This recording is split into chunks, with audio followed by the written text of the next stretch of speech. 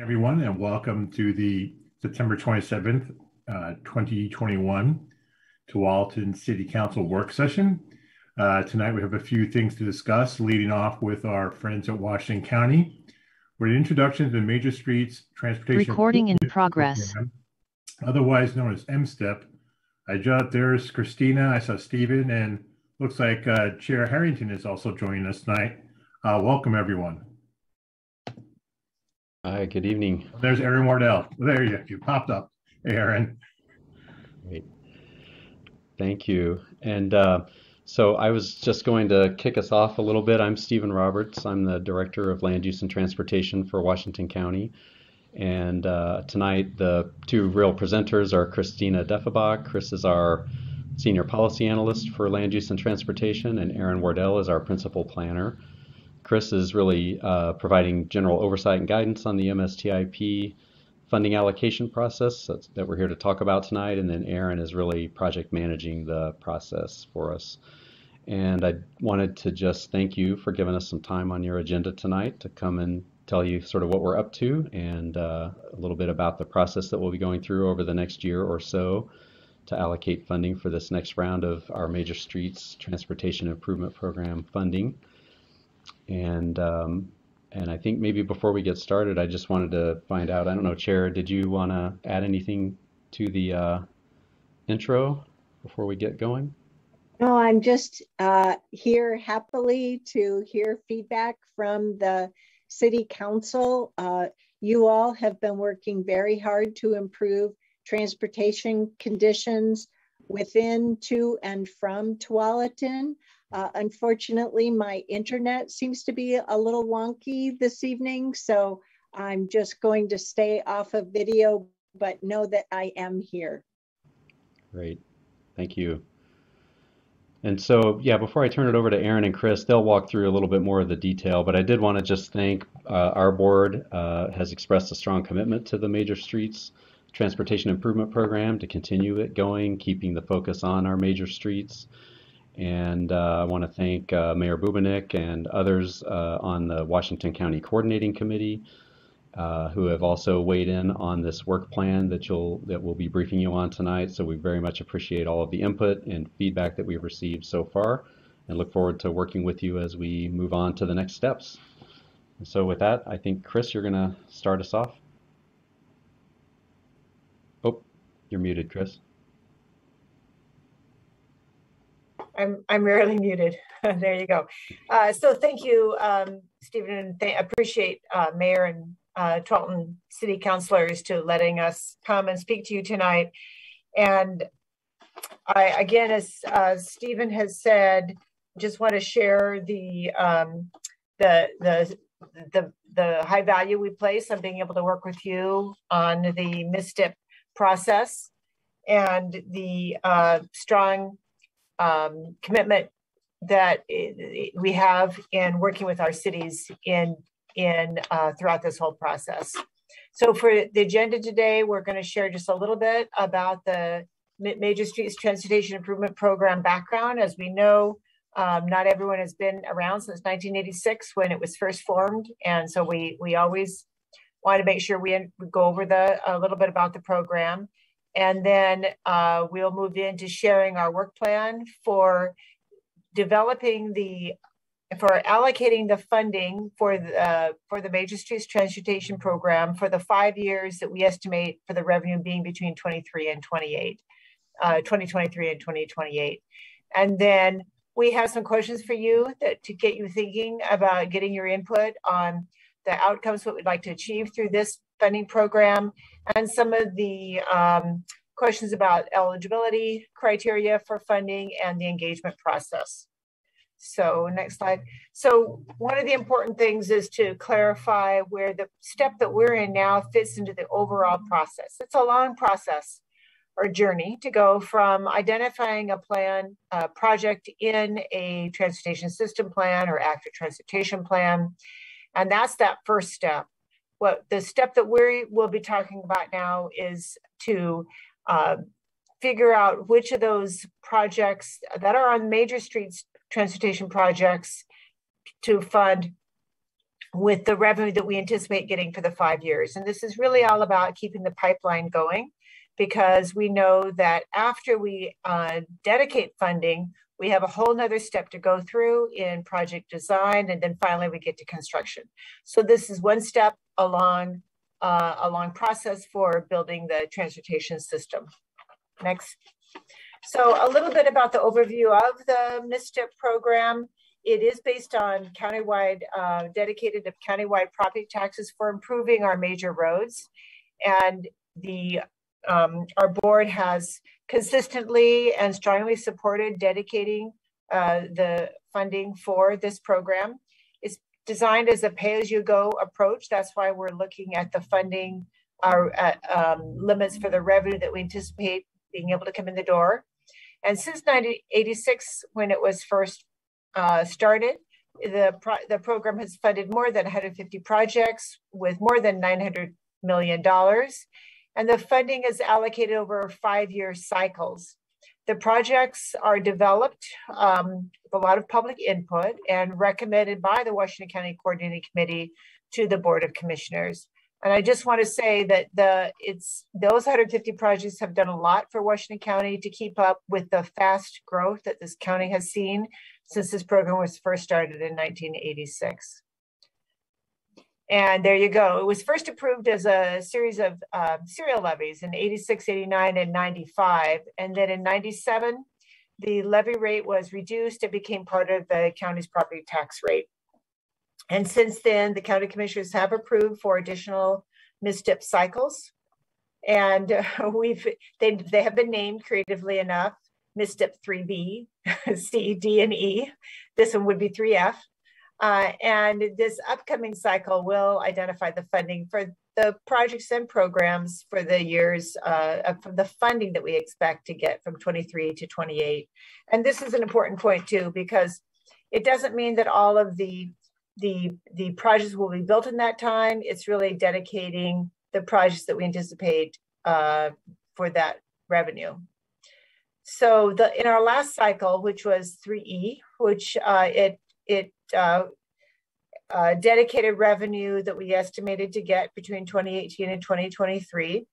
For that cycle, the, the total allocation was 175 million, about 35 million a year in revenue that we estimated. That was divided up last time as 160 million for 23 multimodal projects. Seven and a half million was set aside in a special fund called an opportunity fund. And this has been super helpful. It's leveraged about one to five or six dollars for every dollar spent. And this is the funding that's made available to for the cities and the county to seek uh, as match for competitive grant funds. Uh, there has been another 7 million set aside for rural, rural bridges and then $500,000 for intelligent transportation system improvements. And these have been used to leverage other regional funds for signal improvements across the county.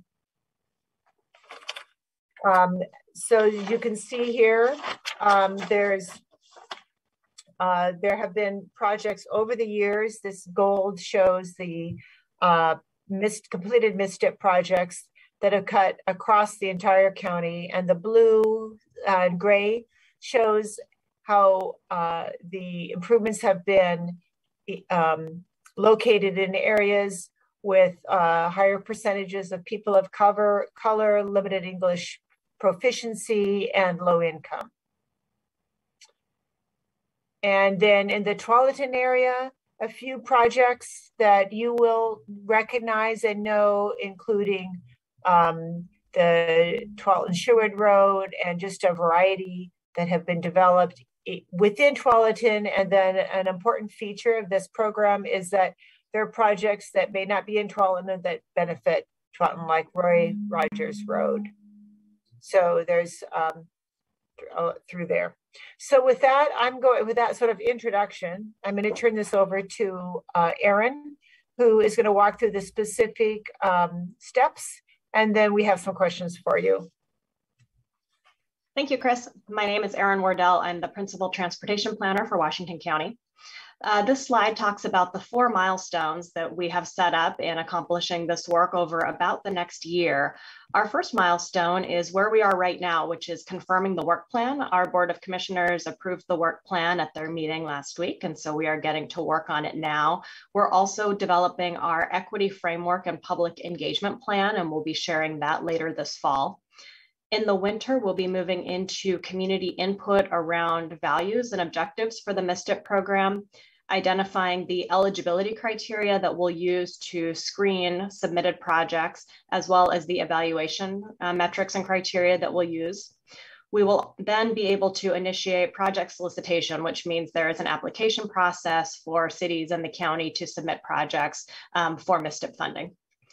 Our third milestone in spring and summer of 22 will be to actually do the evaluation of the projects that have been submitted and also to identify the programmatic elements that will be a part of the program. So Chris talked about the MSTIP Opportunity Fund as well as Rural Bridges and ITS funds. We will be going through a process to talk about those programs, make sure they're the right programs, that the funding allocations are correct for them. Once we have the prioritized project list and the programmatic elements, we'll be going out for a big phase of public comment on those to hear from the community. And then we move into milestone four in the fall, which will be board adoption of the project list, the programmatic elements, and updated administrative procedures. So we have a number of steps that go along the way. We'll be doing about monthly check-ins with the county coordinating committee and our board of commissioners, and sometimes those will be actions for approval as we move through this work plan. Oops, and I just jumped ahead too many slides.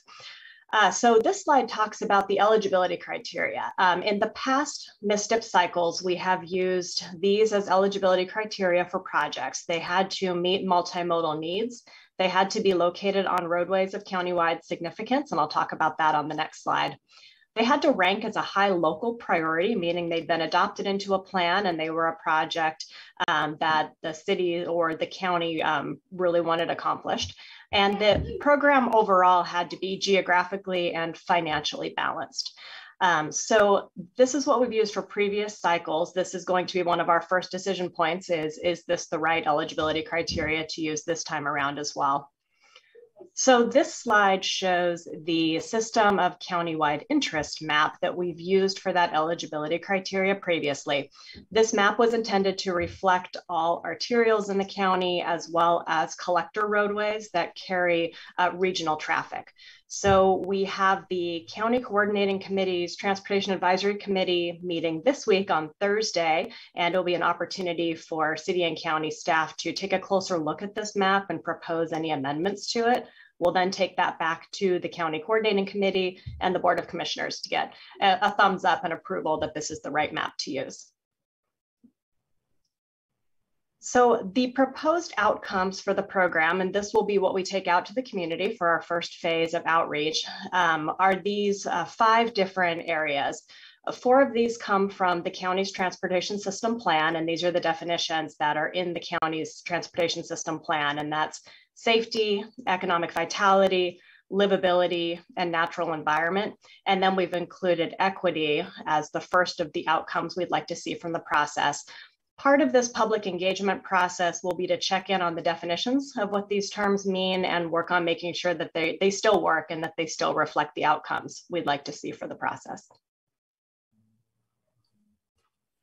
So a little bit more about our community engagement approach. We are hiring a consultant to act as a staff extension to help us do this work we'll have these two big phases of community engagement. The first, again, is about um, asking the community what's important to you in the transportation system, and that will inform the project outcomes. And then in the spring or summer, we'll be going out to ask people about the specific project list and react to that. We will be doing a targeted engagement with historically excluded communities it's really important to us to be able to work through established committees and organizations and provide updates to city councils and other leadership boards as requested. We know that the cities um, have sometimes their own equity staff, their own equity committees, and have been doing a lot of work around this topic as well. And so we'd really like to be able to work with your existing staff and committees as much as possible.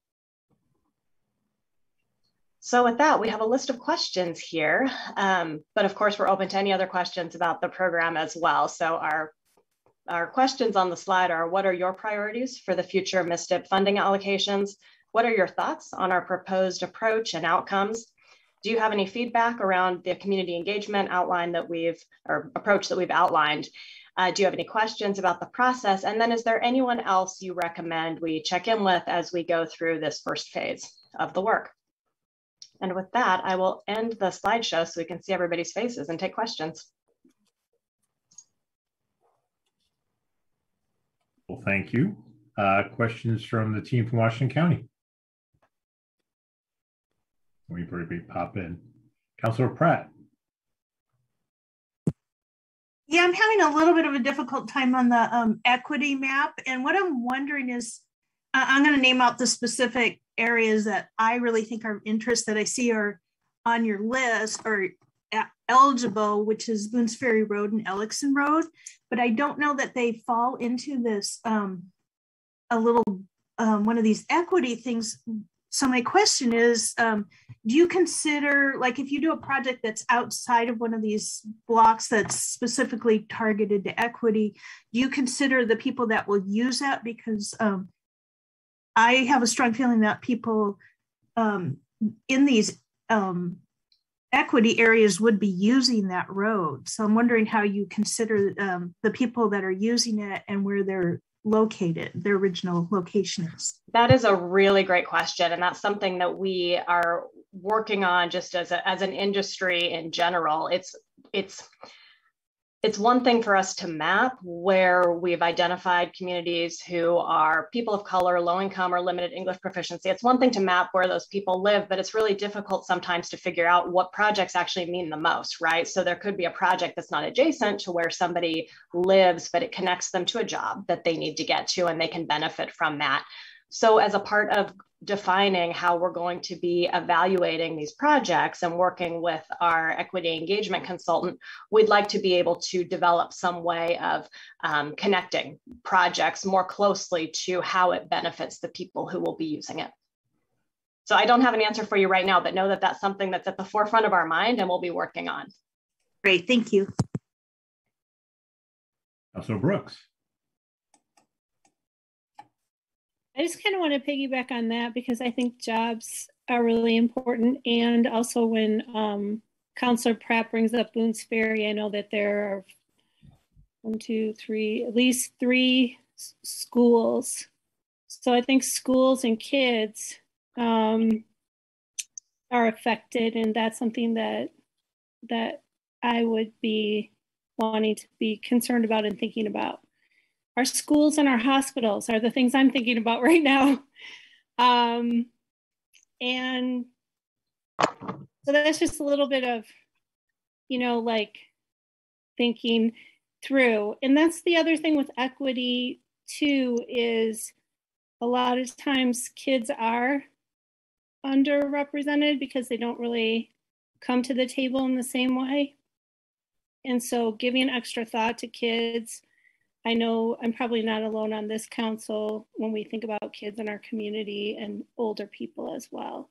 So those age um, issues. Um, and and that that was just one little addition.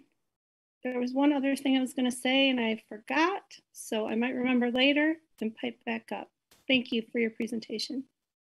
And one piece to note on the schools is that we are developing a mapping tool that we'll use as a part of the project evaluation. And on top of that map, we're layering a number of different pieces of information. And one of those is the location of schools and then specifically the location of Title I schools, as well as locations of medical facilities. And so that is something that we will be trying to bring into the project evaluation.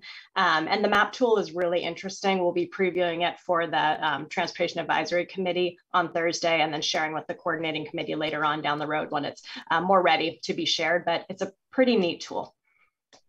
Thank you. I, I remember my other one. It was, um, and I think social service um, places as well.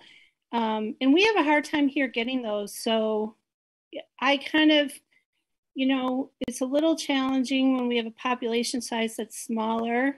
And then we have some really, um, going into the equity piece, we also have this really, you guys know, being right next to the freeway, a lot of um, form function problems, like functionality issues, because there's so much that goes to the freeway, and there's also so much um, migration for working um, every day. But those cut throughs and all that stuff when things get um, piled up on the freeway is, you know, directly affects Boone's Ferry. And, so, you know, so we get that extra um, traffic jam all the way from uh, east to west and north to south on our main arteries. So how does, I guess that's my question, if we have a smaller population and how can geographically making sure that we're there's geographical diversity as well as um, needs diversity needs for individuals that's for main thoroughfares like being affected by I-5 for instance. Yeah I'll I'll I'll take that one I think I, um, you raised an excellent point and I there, part of the program has been the idea of geographic equity, so trying to distribute the funds across the county because it is a county-wide property tax. And so we want to ensure that the program's benefiting people who live in different parts of the county, right? And so, um, you know, and there are, like, like you said, even uh, even though you're not one of the largest cities, um, you know, you certainly have some pretty major roadways that go through town uh, that need attention. So Tualatin Sherwood, for instance, we're investing quite a bit of MSTIP funds to finally widen that last three-lane section, which should help keep traffic flowing, um, you know, in in that section. Uh, and so, yeah, that you know, part of part of the consideration is sort of how do you balance geographically and also kind of with this program more so more intentionally than we have in the past, thinking about uh, what equity means in terms of how the funding is distributed. Yeah and and i think too with like main thoroughfares there's there would be in my my thinking more people using it. So for equity issues people from all different areas you know would be using mm-hmm. main thoroughfares like that so right. i think it would affect diverse groups of people even mm-hmm. though the population center might not be right where they live here right yeah. Okay, thanks. Yep, absolutely. Mm-hmm. Reyes. Yeah, um, thank you for the presentation. Very useful. Um, and his the historical knowledge is really useful to me because I haven't been around since 1986. so um, thank you. I my it's it's kind of like the same thing of equity and when the distribution of funds are happening. Um, and I think this is where Councillor Brooks uh, I, I think this is what, correct me if I'm wrong, it's not, a lot of the, if you're looking at location and saying, okay, maybe Tualatin has an income average of this, uh, it could be that the residents probably because, you know, they go and work outside Tualatin, but the people that are coming, uh, like for instance, around Bridgeport, like the restaurants that are there, uh, the cooks, the, the, the people that are serving the the hospitality all that they're not always people that work uh, that live here in Tualatin. So if you're basing based on oh how many people live here uh, mm-hmm. and their income is this, but then um, let's not give them these funds because their income is this level. But there are businesses and um, in our area business parks as well, like factories and manufact all these manufacturing companies that people 90% of our people uh, from the businesses do, do not live here so they travel here somehow so i think that also should be taken in, a, in, in account as we're distributing funds like where are these people working and where can we uh, have transportation that is easy for them um, for for those that are coming to work here in in that in the industry that um, is Mhm. needed. So I feel like that's where um, I hope that that we're looking and taking into account all that in the equity eye lens and the business. Yeah, thank you. That's something that we definitely want to take a look at is location of um, service jobs, like what you're talking about. I had a meeting with the county's public health staff last week, and that was a point they raised as well as being an important um, criteria to look at. Other questions? Councillor Sacco.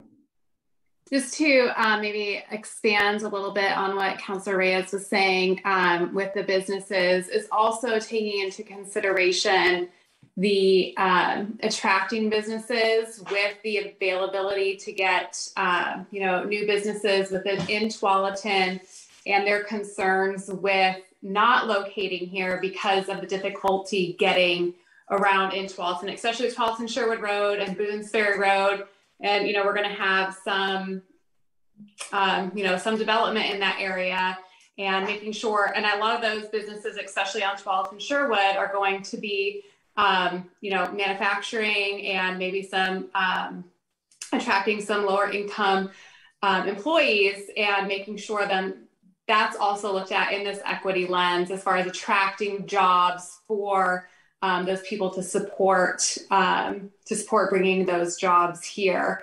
Um, and is it an attractive place if the um, if the system can't handle additional um, uh, additional traffic in those main 12th and Sherwood Boones Ferry areas?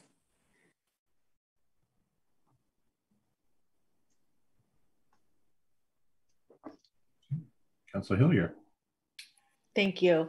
I just wanted to be sure that in the equity lens and other um, considerations, we were thinking about people with othering needs and the wraparound services that they need to get to.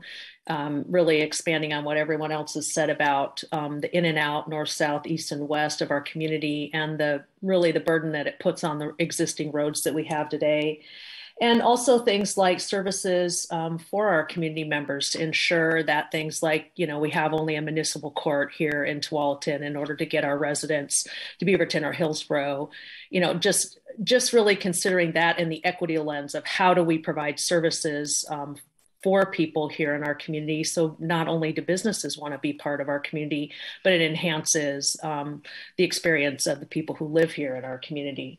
And I also wanted to just um, touch on the fact of ensuring that there's safe ways for our students um, in these um, in the multimodal ways for students who are going straight to manufacturing jobs or to community college or whatever it is that are you know maybe are only at school part of the day or um, at a high school or you know parents who are dropping their kids off at a school and heading to those places in different um, modes of, of, transportation. I just wanted to ensure that those equity things, we have 2,000 students at our high school, 600 at each of the elementary schools near Boone's Ferry, or 500 and some, and then, you know, we have Horizon. So just ensure that we're really thinking through um, those sorts of, I, am not sure if it's just equity or many, many things to consider in, in what I'm thinking about.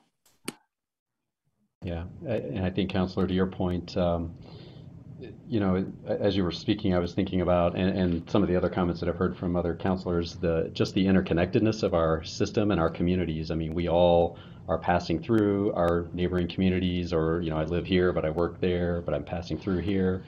And I think even just the interconnectedness of, of the system in terms of how people move through the space. So we have people obviously in cars, we have people that are trying uh, trying to use transit or relying on transit, and we have folks that may be trying to walk and cycle, and so it is a real challenge to try to think about all of those different um, uh, interdependencies, I guess, uh, you know, in the in the transportation system. But I think again, getting at the nature of this program, really with that emphasis on sort of the major streets, and and again, then how do we help move people on those streets, move people across those streets, move people that are riding transit, hopefully on some of those uh, roadways.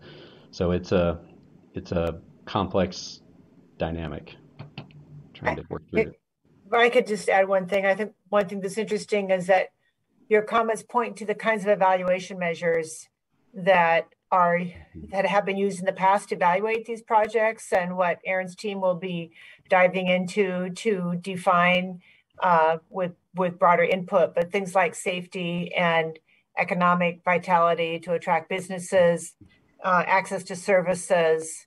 Uh, those are all things that have in, in the past been used to begin to rank these these uh, projects. As we know, we're going to get way more requests than we have funding for. So this is something that you'll hear about more as we really try to articulate those um, in ways that people can understand how what, factors are important to folks for um, setting the priorities. Other questions? Councilor Brooks. Sorry, I just have uh, two more. Um, one is we we talked about public transportation, and just to remember here, we do not have robust public transportation for some of the reasons where I think that some more concentrated places that have more diverse populations may have more robust public transportation, but here is very, very difficult. Um, so just in, in, and I think the mindfulness of that also dovetails on environmental justice and the fact that we don't have, that we, um, that people are disproportionately affected by pollution as well that are in those ways and that we don't have those kind of clean um, energy resources or transportation resources here. Um, those are two things that I think are really important to remember and to think about. Hmm. Other questions? Councilor Reyes. Just one more. I know you said here on um, one of your questions, what are your priorities for future MSI, MSTIP funding allocations? I think that um, I think I second whoever brought up the uh, Tualatin Sherwood Road. Um, I can't remember which of my fellow councilors brought it up, but I think um, that area just needs a lot of work. That that would be another priority of mine because, um, like like someone said, we do need these connections, and um, my priority is also the uh, making sure that people can get to health um, places like you know like clinics or um, whatever whether it's a free clinic down in by um, Borland or any other hospitals around there. I think it's really important. That that would be one of my priorities that people can have access to that. That's really important. Um, and also just just somehow that area of when when you exit in that area, you're coming you have people coming from I-5, 205, um, just just a whole bunch of mess right there. So um, look at I, I would I would that's also another like I could say a priority of mine that I would look into. But definitely getting people easy easy access to to healthcare and and area or services that they can take advantage of. Questions? Uh, I, I just got two comments. Uh, one is I'll pick on uh, 65th first. So 65th and Pacific Highway are both multi-jurisdictional uh, facilities. 65th and is has become the unofficial bypass for I-5 mm-hmm. um, and is getting buried routinely. We also know it's where Meridian Park Hospital is and one of our designated census tracts is right there at Atfalati Park. So I would hope that one of the things also in the criteria are those routes that have become unofficial bypasses for I-5, uh, because that would also take into account Boones Ferry Road, that those facilities in the event of a accident or anything, we all know to avoid those because they just get crushed. And 65th, especially now, um, when you come down 65th, when you're heading to I-5, it needs significant improvement. That bridge uh, needs to be expanded. That whole facility needs to be updated because uh, it's basically outgrown itself around the area between the hospital, apartments, and growth. is just doesn't cut it anymore. And so, and you know, how would we work with uh, Clackamas County on that? And the second item is uh, 99W Pacific Highway, our favorite.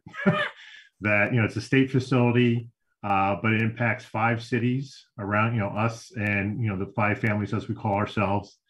And, you know, how do we work with ODOT on improving that? Because that also runs through some census tracts of lower income folks and it's got some significant blight all the way down it.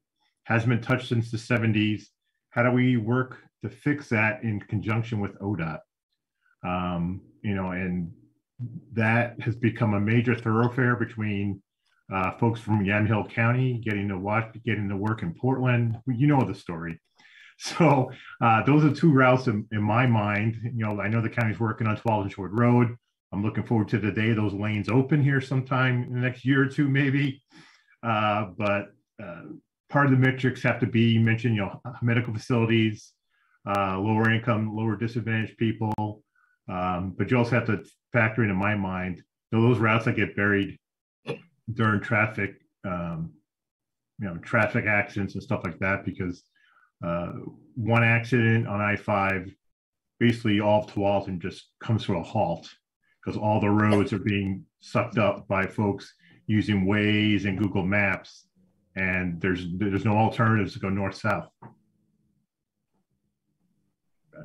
My two cents. Council President Grimes. Thank you. Um, I would like to say I concur with the majority of the comments that have been shared by my other counselors tonight. Thank you guys for the thoughtful input.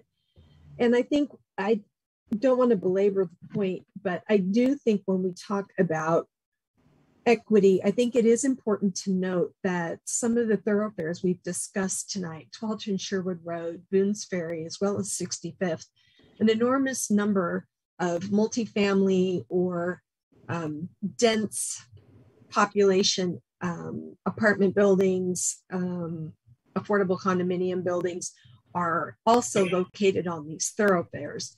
So to me, I mean, it's already difficult to raise your family if you're living on or very, very near a busy road when you talk about diversity and you talk about equity and you talk about quality of life.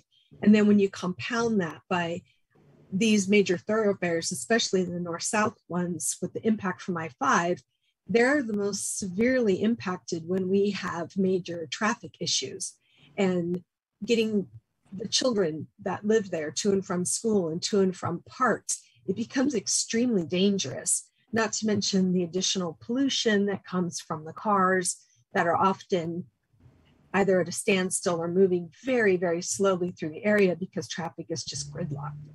And you know when i think about the idea of the equality of the people that live in our city to be able to enjoy the amenities and the health and the welfare you know it really bothers me that a lot of these very very dense housing areas are on our worst traffic thoroughfares. And then i guess um, in addition to that statement because it's not really a question i do have a question which is when we talk about doing community outreach and um, community visioning and input around some of these problems.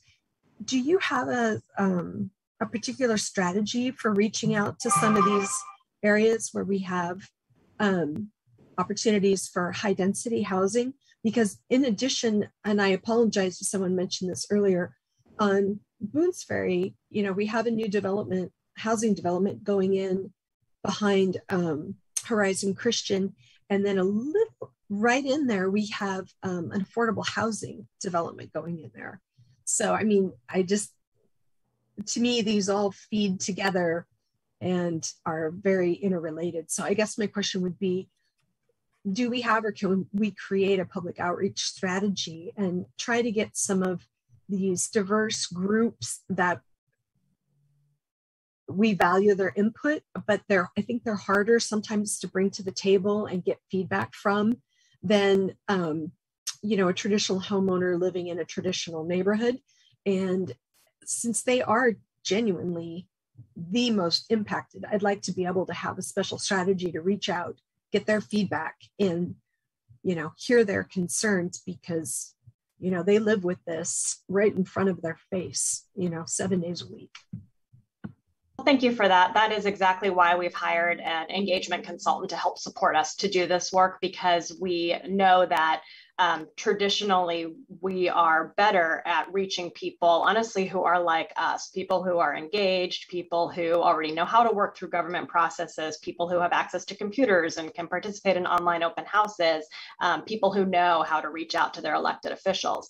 And it's really important to us to do a better job of reaching out to people who haven't been as engaged in the process before. So that's what we'll be working through with our consultant on board.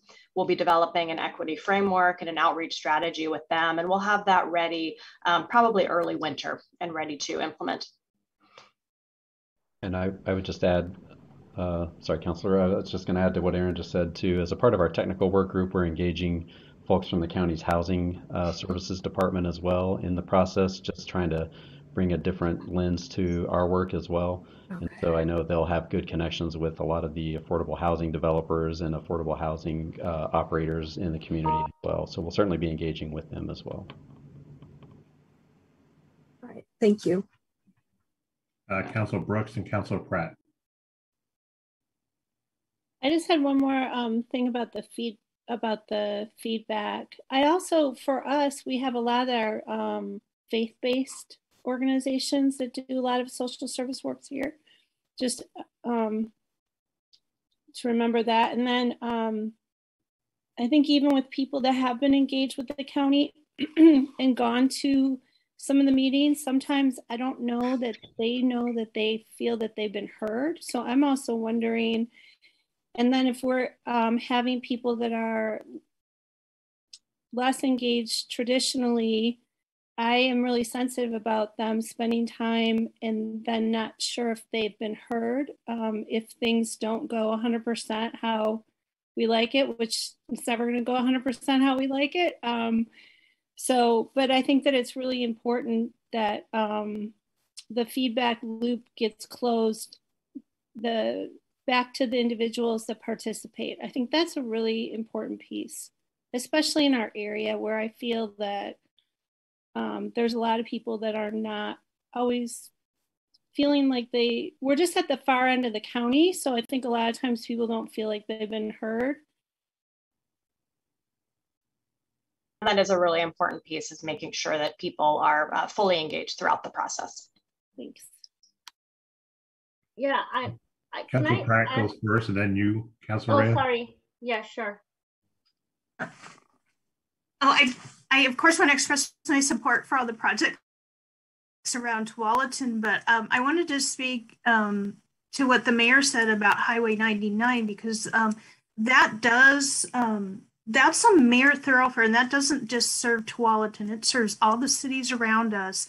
And um, it's a main thoroughfare that serves um, some low income and other equity areas. And it also, um, once you go into Multnomah County, when that becomes Barber, that's a main bike route into Portland. And um, that, I don't know if any of you, um, I know Chair Harrington's a bike rider, but if you try to bike on that part of 99, it's, um, it's um, a big risk right now. So that would be a, a great main thoroughfare to make into a multimodal transportation route and improve the safety of for everybody. Councilor Reyes. Yeah, I wanted to talk a little bit about the process, and I think I thankfully uh, Councilor Brooks brought it up a little bit. Yes, I am with her on that. I, I traditionally a lot of the the um, non English speakers and maybe even English speakers, because I didn't even know either, and I speak English. Um, they're not don't understand the concept of what they're asking them or why they're asking them all these questions about transportation. It's you know, a lot of times it's not accustomed to do that in their countries to give feedback about um, how do you want your road to look like, or do you want this, you want that. And so I, I, am glad she brought it up because um, here's where we are. We are in two counties, Tualatin. So uh, what happens, a lot of our community, the people that live in, that utilize our, a lot of the like um, Washington County um, businesses live in the actual Clackamas County. So, but in their minds, they're they are Tualatin, and they are Tualatin, and so I feel like that uh, sometimes the communication number one is not it's not communicated well, uh, and letting them know this is feedback that we're getting, we want to gather from you. And if it's in if it's in Spanish or in their own language, that would be even much better. But explaining to them that um, we want their feedback, uh, that would be wonderful. And also that it it is a Washington County because a lot of times what they might think is, oh, but I give my feedback when nothing happened on my street. Well, that was not Washington County, that was Clackamas County. And so they're not seeing a change in the area that they're thinking about because in their minds is a different, they think it's Tualatin, but they're not thinking that we're divided into counties.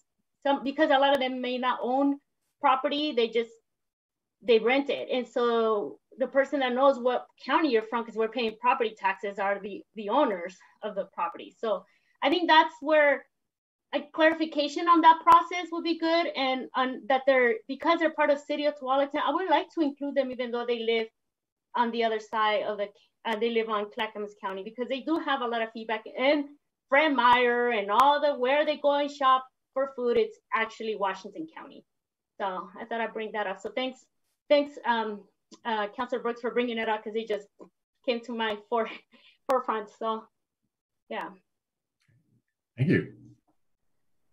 Okay, last call for questions here. All right, well, thank you, Stephen, Erin, and Chris for coming tonight and Chair Harrington. Um, do you have any last words for us? Chair, I don't know if you want to say something and. well, I appreciate the city council uh, making and taking the time to review the uh, work plan for this next five-year phase of significant investment of county taxpayer funds. $35 million a year over five years. Uh, we're, you know, as being a longtime resident here myself for 31 years, I know I am grateful that we approved the MSTIP 3 program uh, back in uh, the early 90s.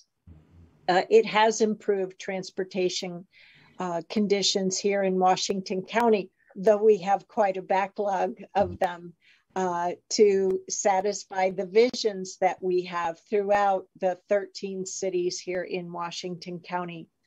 I appreciate your comments about where uh, services are provided uh, the need for there to be a good public engagement strategy, continued improvements with access and connectivity. Uh, and it can be hard to uh, see our community continue to grow and develop.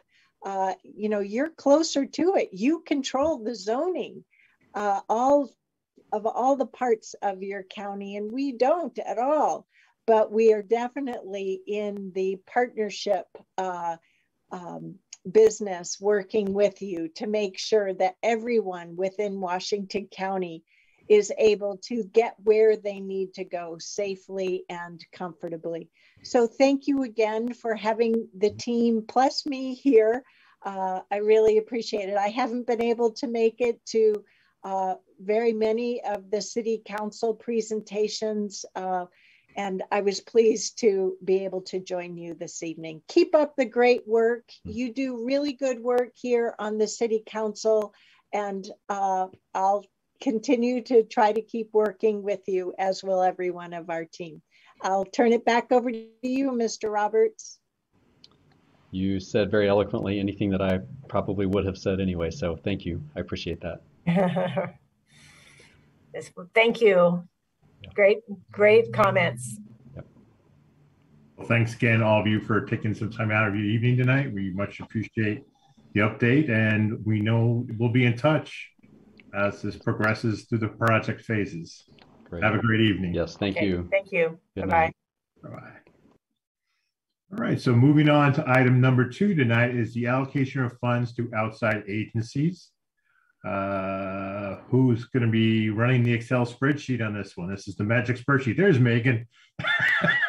hey, yes, that'll be me. yeah. So remember last year we did this, um, and was through a series of Excel changes, we figured out how to allocate the money.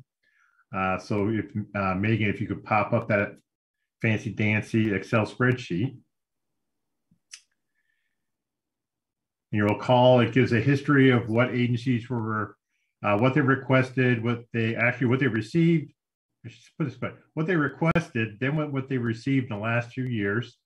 Uh, you can see this year we've had a couple of folks, agencies who did not request money as they did in the past. And traditionally, uh, where we started this, remember last year, is that the agencies that received money last year, uh, we kind of put in as a starting point uh, in the received column what they got last year, just to see where we landed as far as uh, how much money can be allocated. Uh, so is everyone okay to start that way? So we'll go ahead and give that a shot. See how fast Megan can type.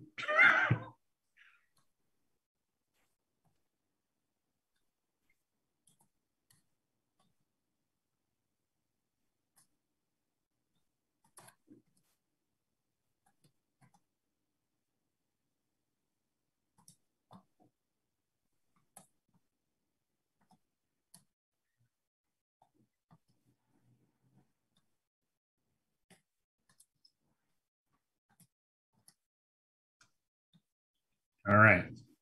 So based on that process, that leaves us five thousand dollars out of the forty thousand. Um, so this, I just open it to the floor to folks who, uh, you know, you know, do you want to make changes, shift money around? Uh, in your packet, you have applications from all the applicants. Um, very, they're all very worthy here in Tualatin. A lot of them provide terrific services here. Um, and we have a little bit more money to fund um, some places. We can give them additional dollars, or um, you know, if we have anybody new that interests somebody, just yell it on out because I can't see everybody. So just go ahead and yell. Can you, I, can, I um, can see Kristen's hand. That's about it, and I can see Valerie's. I, I just had it. So, um, was there a reason? Um, and I didn't look at the specific application, but for Love Inc. for Tigard Tualatin Sherwood, why they um, last year we didn't give them anything, and so uh, maybe that's an opportunity right there. I think last year we just ran out of money, Okay. and we looked at uh, who had the biggest impact on the city. Mm-hmm. I always try to focus on what's in our city and what's uh, first, and then kind of move on a little bit after that. But because of you know if they're here in our community, they're uh, I want our people to go and and have these take take advantage of these services that are already here for uh, for them. So that's that's what I focus on. Yeah, I think that's a really good point, Council Reyes, especially because so many of the social services are more sort of county-wide. And so our people have to travel along, you know, quite a distance, usually, usually out west to receive services. Um, I mean, I would be really happy to give the Borland Free Clinic the full amount that they requested using some of that extra $5,000 because I think that that is a nice, worthy, up and coming, very local um, service that provides a lot of care to underserviced parts of our community. And I'd like to really show them some support because I think they'll do a lot of good work for our community especially now that we can help with some public transportation out there. So I see Councilor Pratt's hands up. Yeah, thank you. Um, I, I spent quite a bit of time um, just based on what we talked about last year. And one was Councilor Reyes's thought of um, what serves our community directly. And then um, there was talk about kind of, and I did that. I, I went, I looked at the percentage of the services they say they provide in of what their the funds will be used in Tualatin. And um, I got Meals on Wheels, Neighbors Nourishing Communities, Borland Free Clinic, and Oregon Community Warehouse, and the um, Columbia Land Trust. And then I looked at the number of people they serve, and um, boy, Tualatin Food Pantry, um, and um, let's see, Oregon Community Fu- uh, Warehouse, um, Tigard Tualatin Family Resource Center have the highest numbers. And then I looked at, I kind of broke it out. So, um, like by the type of services they're providing to try to kind of be more equitable among the groups. And I think that uh, um, what you said, Councillor Grimes, about um, Borland Free Clinic, they're a really um, great service for our community. So I would increase that to the amount they requested or 2,500. And then um, the other one I really think needs to be increased because we only have really one environmental one here is Columbia Land Trust. And, you know, we, um, if we if we give them like, I put $4,000, that's only 10% of our total here for environmental causes. So that would be the other one I would really push for here.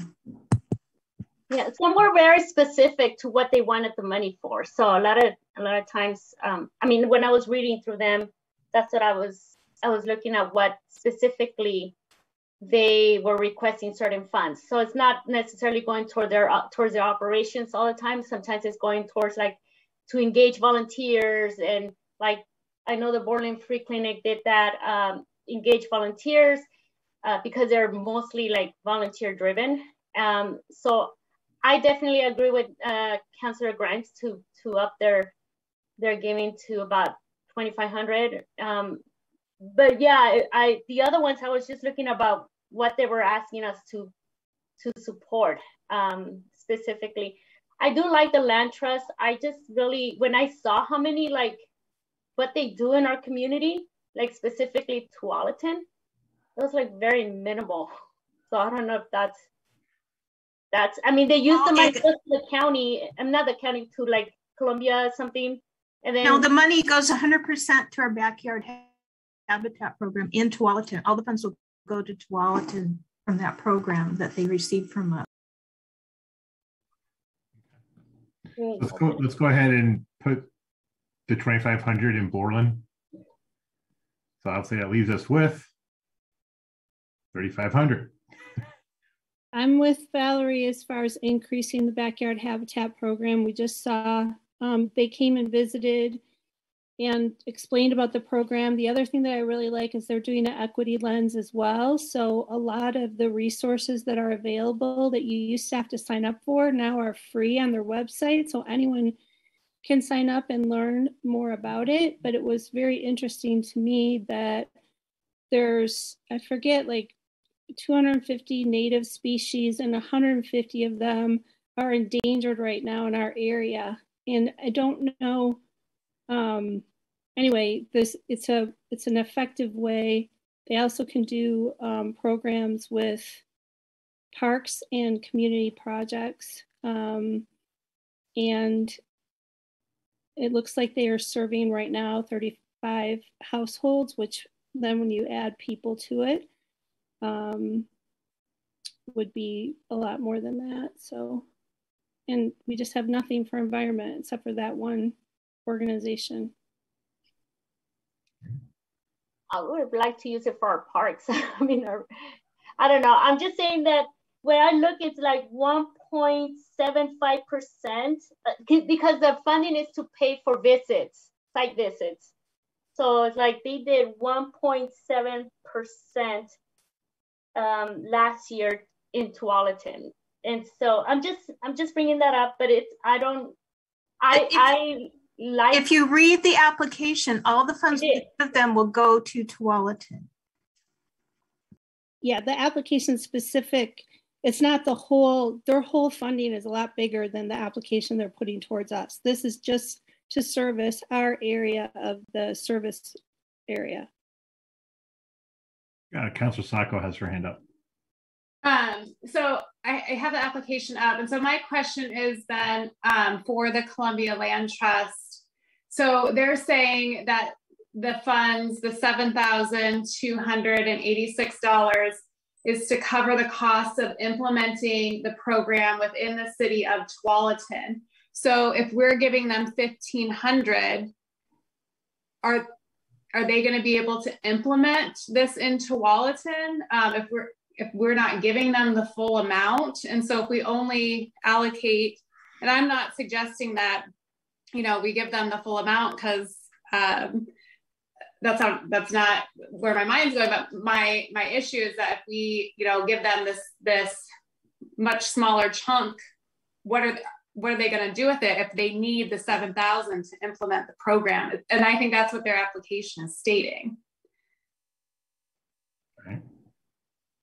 And so I don't know if someone's reading it differently than I am um, and can maybe shed some light. They, um, the, we, um, I listened to a presentation from them a couple weeks ago and my understanding is you know it never covers the cost like because the application fee to do it is like $35 and they waive it if people can't afford it. So they have to get funds from other sources and this is just part of what would help cover it.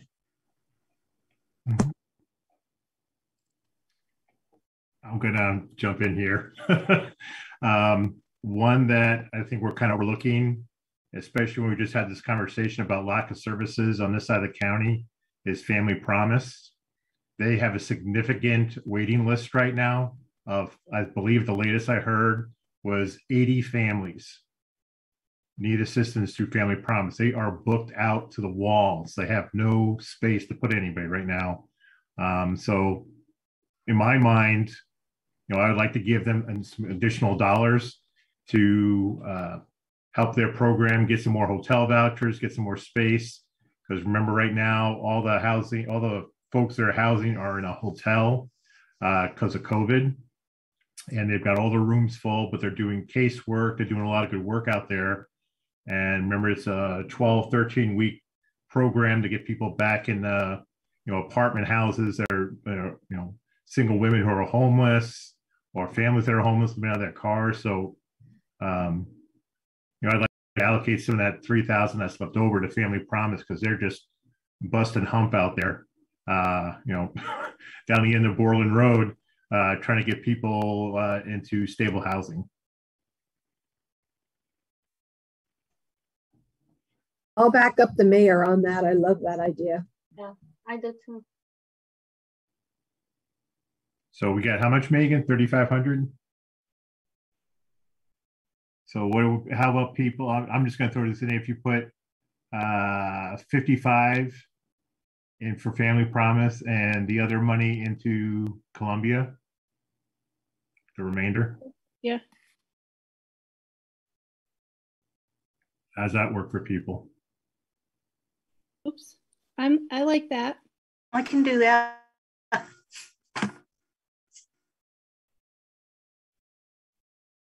I agree with you, Mayor. By the way, I think that they've been doing great work out there, and um, that would have been something I would have brought up too. So appreciate you bringing it up. Sure. So is everybody okay with this? Can't see everybody. If you're not, just yell out. I want to kiss you four faces. So I, I guess because this is this is uh, Cindy. Um, I'm curious um, if and um, I'm curious in the past um, what has limited. I'm considering the Family Justice Center of Washington County or the Sexual Assault Resource Center, but more specifically, the Family Justice Center of Washington County, and I um, and it's because of um, the coping that's been used during COVID and the increase of domestic violence. And I know I work with a group in our community, even of survivors of domestic violence. And I just wonder um, is there any appetite uh, to um, fund them anymore? Or is what they do from your experience over the years, this is a great amount and um, it's worked well? So, kind of more of a question. Based, um, the Family Justice Center, um, as you say, Cindy does terrific work. Um, and I know we're one of not a lot of cities give them money because um, back in the day when they started up, um, they came around and was in the middle of a fund right, you know, fundraising uh, campaign, and we committed back then that we'd always give them about this kind of amount of money uh, because of what they do uh, for uh, battered uh, spouses and uh, so they don't have to go to court all the great things they do out there Um, so, and we always, we've always, their discussion when I've been talking to them is, you know, anywhere between, you know, 4,500 to 6,000, they very much appreciate from a city our size. So. Thank you. Sacco. Um, I'm just wondering if the um, going back to the um, the Love Inc. and just the the optics of giving a fulfilling at least some of every application except for one. And when I asked about this first, it was you know supporting things that specifically support Tualatin, but it looks like I mean it look they do and also there's multiple um, other applications um, that support multiple areas and not just Tualatin. So I'm just wondering, I mean, if if anything that um, you know the optics of supporting every single one except for one doesn't might not look great. Um, and I don't want to, you know, I don't want one one organization to feel singled out um, as we give every single organization something and one organization nothing um, just kind of doesn't sit well with me unless there's a good reason that we exclude one. The only thing I'd say on that area, Christian or Councillor Sacco, is that, and it is hard because we have so many areas we're trying to cover here. And there's four organizations that I put under housing or helping with household needs, and they're one of them. And um, of the four, um, I would say Oregon Community, where they're all good. It's this is the hard part, and that's where it gets difficult. And I don't know why. I think they just get dropped because they're all so important. But I, I, I hear what you're saying. And I would also just mention that they do employ people from the city of Tualatin as well at Love Inc. Valerie, you're on mute. Even on mute. We have about a quarter of our funds already going to that like housing household type services. So it's um, I think that's part of why that happened last year. I mean, if we'd like to give some a little bit of money to Love Inc., we could always. I'll pick up. Sorry, I'll pick on Columbia. You know, the money we just allocated. If we took five hundred from Columbia Land Trust and 500 from Family Promise, then they'd get at least a thousand. Uh, could we, if there's um, the from the four organizations that are kind of doing the same thing, maybe if we could um, stick to, you know, we already have that much that much fund, that dollar amount of funds allocated towards that um, particular um, area. Uh, I'm wondering maybe if instead of take, because I agree that you know um, the environmental piece is important. And i don't necessarily then want to take from the environmental piece if there's already you know we already have a chunk of funds for this particular area uh, maybe we can stick with the funds we have for that particular area and then maybe give some of those to love inc. Um, i don't necessarily want to take because uh, we're only then have 3000 uh, for the environmental piece where i mean i agree with what everybody said before where you know there and what val just said there are four um, area or four um, applications for that household needs area as well. So what would be your suggestions to take the money away from one other organizations put into love inc what are the four organizations again, Valerie? Well, they provide the same similar things like Love Inc. provides bus tickets, medical appointments, grocery store. That's what they're asking for. So if or isn't that what we have a, a, a food bank that can help with food. We have um what else do we have like promise family promises helps with a lot of that thing those things too so I'm just wondering if we are just kind of taking a little bit just to kind of, I don't know. I mean, if I'm not saying no, I really don't. Um, I think they all do good. All these nonprofits are worthy of supporting. The, just we just got to make sure that we're not taking away from uh, like something that's in our city to give to Tualatin Sherwood and Tigard, three cities um, that are providing the same services that our uh, nonprofits here in our city are providing. So that's just my, Does I don't know if it makes sense, but that's just my thought.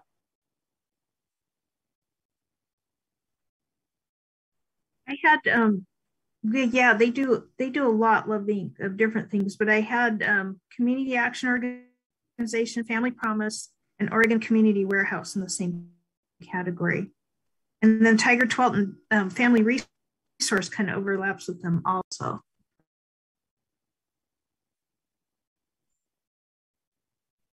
So what if we just took like 250 from each of those? And so it's not a huge, you know, not a huge chunk, um, but something um, that would add up to something of substance for Love Inc.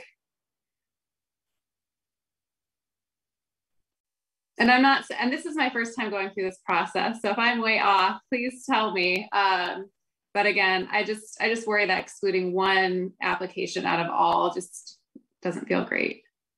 I don't think you're off. I think our concern is like if we're giving less than we did last year to another group, that becomes a problem too, maybe.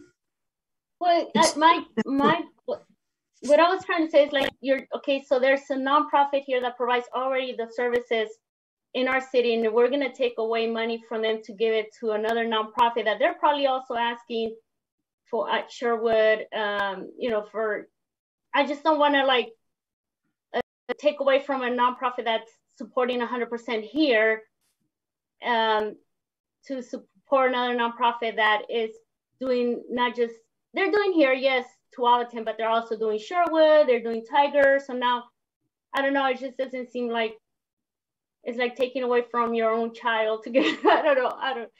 I mean, I'm just trying to make sense of it. And there has been times I've been, I'm in this industry, so I have received, thank you for applying, but we don't have resources for everybody, although your case was great. I mean, we get letters like that all the time. Um, and I'm, I'm, in the, I've been in nonprofit, I raise money. So I, I get no's all the time. So it's not the first time that we would get a no or we say no to something. I mean, to me, the most obvious place to take it from would be Family Promise, and I think we just all agreed to. That, that was my point. We to them. give them because they're overbooked and they're here in our community, and they really. I, yeah. I agree with Councilor Reyes, and um, I like the budget how it looks right now. I feel, you know, I hear the concern about leaving one out, which I don't love, but um, but we do have duplicating services located right here in Tualatin.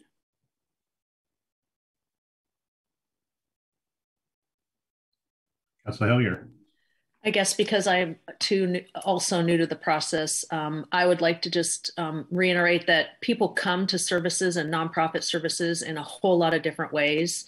So just because a person um, anyway, and so um, I would prefer to see us take 250 from each of them and, and give Love Inc. something also.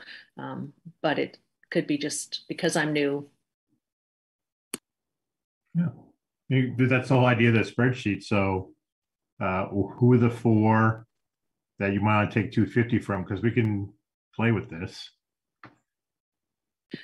I guess what I just want to, I think it's important to understand that everybody might not know about Family Promise, and somehow they may have because um, one is maybe more of a Christian-based organization, and maybe that's how they learn about it. And so, I guess that's what I'm I'm just trying to say is that. Um, yeah, so we'll come to services in a different way. So I don't. Um, yeah. I think the four that I think it's a good idea to have a pot for a category and and to navigate within that. I thought Councillor Sacco. I thought that was a great idea. Okay. Yeah, I have a I have a suggestion that we take 500 from Borland Free Clinic and 500 from Family Promise, even though that hurts, and that would give a thousand to Love Inc. I actually was thinking more like community uh, community action organization. They get tons of government money, and this would be just a drop in a bucket for them, and they're not gonna. Whereas it might help Love Inc. a, a little bit more than uh, community action because they just see it as extra cash, and whereas that works too. Yeah, yeah. I mean that would give them fifteen hundred if we pulled from all, but I hate to pull from Family Promise when we all kind of yeah. Agreed. That's why I'm that's a big one. I would take from, from community take, action. If yeah, so it's like 500 from community action. You put the 500 on Love Inc. And then where's the other 500 coming from? It's either got to come from the Borland Free Clinic or from um, right. Oregon Community Warehouse, one of the two. Or what about 250 from Borland and Family Promise? I'd be better with that. I feel like yeah. Free Clinic needs every penny they yeah, can right Free now Clinic to really get so directly established. I don't even yeah, like they don't borrowing. get any money from government or anywhere. They're straight out 100% That's not true. donation. That's They don't. They do? I know uh, there's a Government? nonprofit in the community that applied um, uh, in partnership with Borland Free Clinic for ARPA dollars, and there will be do- some dollars coming. Federal? ARPA dollars are federal, I believe. Yes. Mhm. So try Oh, the that's good. 250 from Borland and 250 from Family Promise.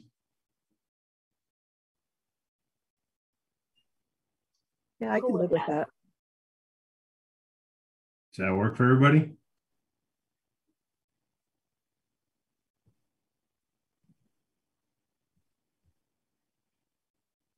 Going once, twice, sold. All right.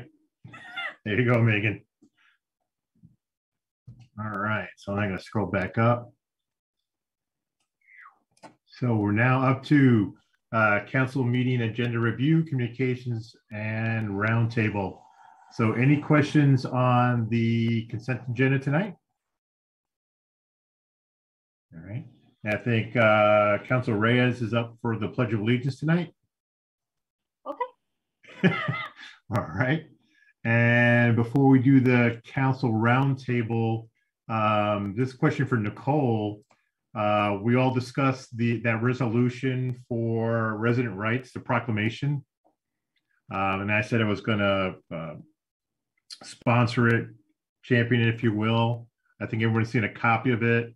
Uh, we just need to vote on, you know, allowing it to proceed through the process of our proclamation process. So is everybody okay with uh, declaring that proclamation for in October?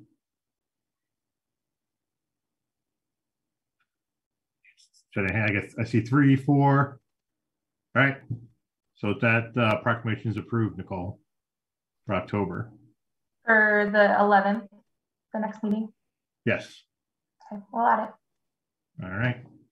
Uh, and with that, I'll go ahead and start the council roundtable with Councilor Sacco.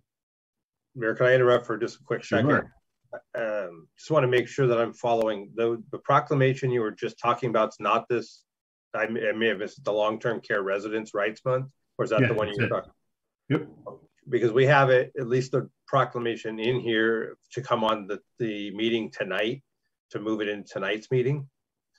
Um, or at least the proclamation in your packet shows it introdu- introduced and adopted tonight. So did you want to do it in the meeting tonight or push it off until the 11th?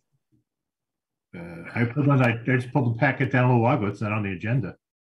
No, but it's, it was added to your council, to this item in your work session to Yeah. talk about as your group, and then you were looking to initially have it added to your meeting tonight. Um, Oh, so we did have it October 11th is fine. They just want it sometime in October. Okay. Yeah. Thank you. Just make sure I was clear. All right, sure. All right. Uh, anything else? Done. Welcome, Don. I figured I had to at least say something to, you know, make Oh, it look like you'll I be was plen- actually you'll doing. be saying plenty during the city council meeting. Don't worry. Oh, great, thanks. All right. So let's go ahead and do our round robin here, and we'll start off uh, with uh, Councilor Sacco. I don't have any communications this week. Thank you. All right. Councilor Hillier. No communications either, sir. Wow. Councilor Pratt. Communications. Uh, I went to a meeting on the um, the group working on the um, Native and Indigenous people, uh, uh, the native, I can't say it, the land acknowledgement for Indigenous people in the land. And um, we're getting pretty far. I think we're coming in front of council next month, and um, I'm pretty impressed. We we went from three pages down to a big paragraph, so was quite an accomplishment. Um, they went to um, the Tualatin Sustainability Network. Did have a great presentation about backyard habitats, which was really interesting. Um, and then I went to um, Clackamas County Climate Action Task Force um, meeting where we're getting down to um, things we could do in specific areas and working further on that. And we have this big board thing that to me right now is overwhelming. So it's going to be interesting to see how they call it down and get to specific goals. That's it. Thank you. Councilor Reyes. No communication. Okay. Councilor Brooks. Okay, I have a, I have a few. Um, Tuesday the 14th, I was, I'm on the Energy, Environment, and National uh, Natural Resources Committee for the National League of City. And they're, just so you guys know, they're responsible for developing policy and leading the National League of Cities advocacy on infrastructure and sustainability and related issues. And some of the things that we work on is water infrastructure and quality, air quality, energy, climate change, solid and hazardous waste management, local food systems, and public lands. And what we focused on was the um, policy and resolutions review. So we were able to, and we also got an infrastructure update from the federal conversation of the advocacy piece. Um, but the policy and resolutions, I will, I should get a copy of, I only have the draft copy so far, but I should get the formalized copies before the conference even happens mid um, October. I'm supposed to get at the end of this month, so we'll see. And when I get them, I will forward them along so that if anyone wants to know nationally what they're looking at for cities, towns, and villages focused on these areas, that you can have it in your inbox. Um, the same day, I also went to the Basalt Creek Tualatin Arts Advisory Committee meeting, which was a meeting between Parks, the Planning Commission, the Arts Advisory Committee, and the Youth Advisory mm -hmm. Committee.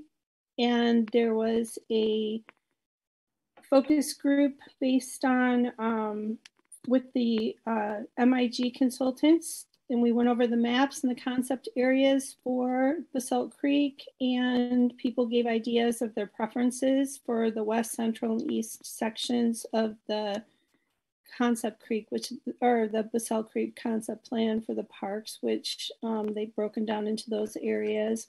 And just a reminder that they will be doing another focus group uh, with business and workforce um, coming up October 4th, and that there is the survey if you guys want to fill it out or if you want to share with any of your constituents um, on the website. And then the 16th, I was at the PAB meeting. I forwarded the consolidated um, focus areas, the annual performance evaluation report. They call it CAPER for 2020, and it's a 2020 to 2024 plan. It's open for public comment for 15 days, and then we passed it on the 16th.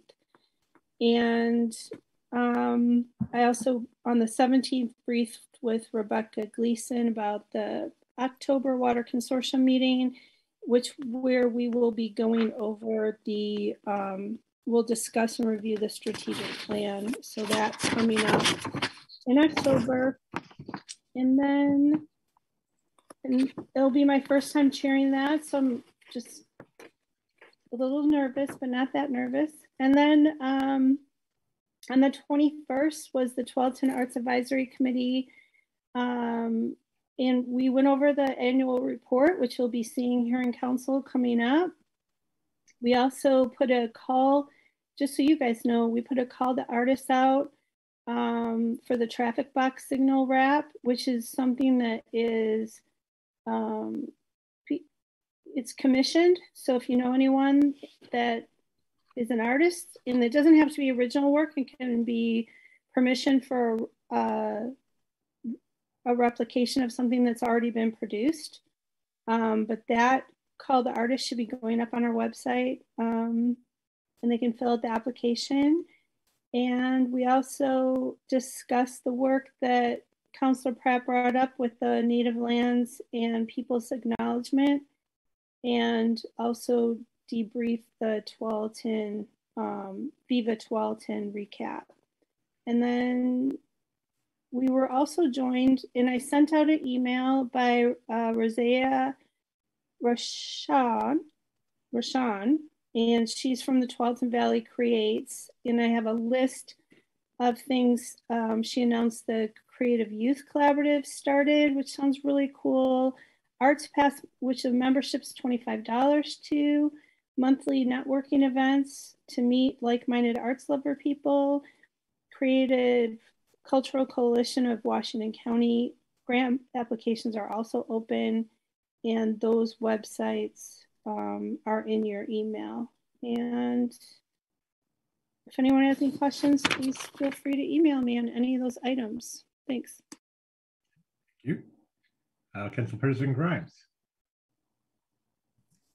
Thank you. Um, I just want to remind everybody that next Wednesday, October 6th, is Bike and Walk to School Day for children in our community. So we're going to have hundreds of kids, I hope, walking and biking to school that morning. So if everyone could just please be a little extra careful and a little extra patient. Um, and if you can, volunteer and walk or bike your kids to school that morning. That's all I have. Thank you. All right, thank you. Uh, just four things for me. Um, I attended the Tualatin Historical Society auction on the 17th. It was very well attended, was all outdoors under tent, uh, social distancing, all that good stuff. I'm proud to report that the winner of lunch or dinner with the mayor auction item was our own Lois Martinazzi. so I get this. Uh, she was pretty excited. So Lois Martinazzi and her uh, partner uh, will be joining me for lunch or dinner in the future. Looking forward to that.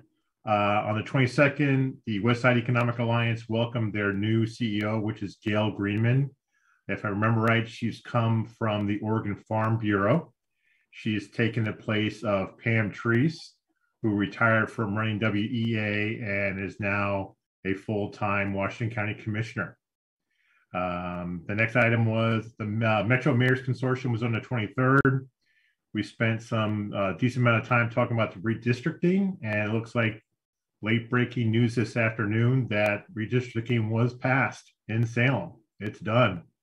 Uh, so we, if everything goes the way it looks like, we're going to be in the new sixth congressional district, um, which is it's a pretty big district, uh, spanning from here down to Salem out to the coast. So it should be interesting to see how these lines uh, are put on the map.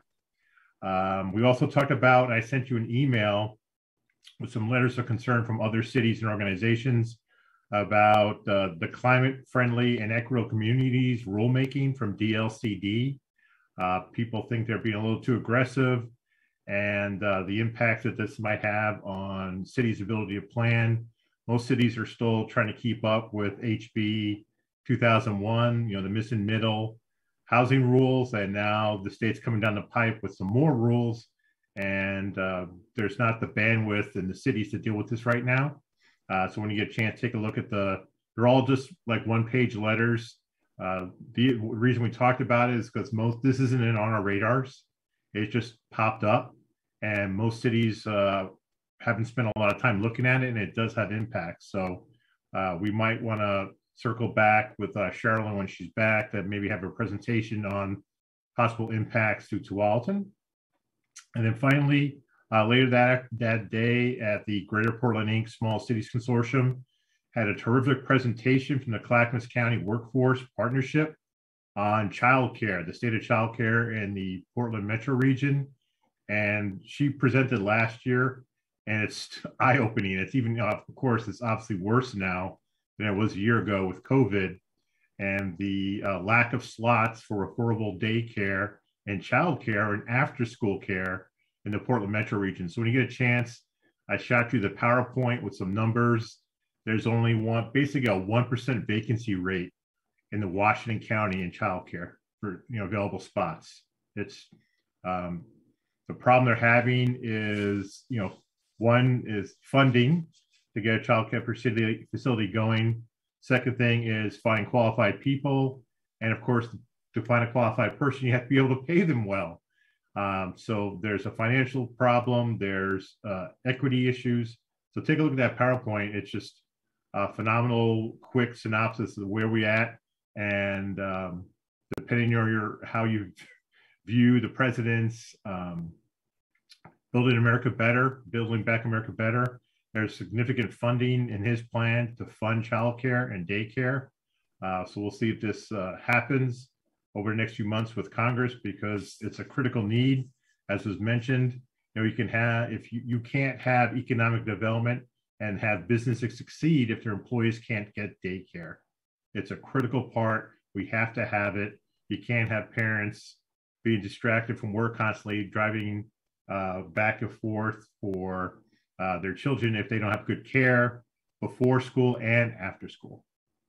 And that's all I have. Oh, one thing I forgot to mention was the uh, proclamation. Uh, Councilor Sacco is doing the domestic violence proclamation, correct? Okay. All right. Well, that's it. We got a little bit of time here, so we'll convene back at seven o'clock.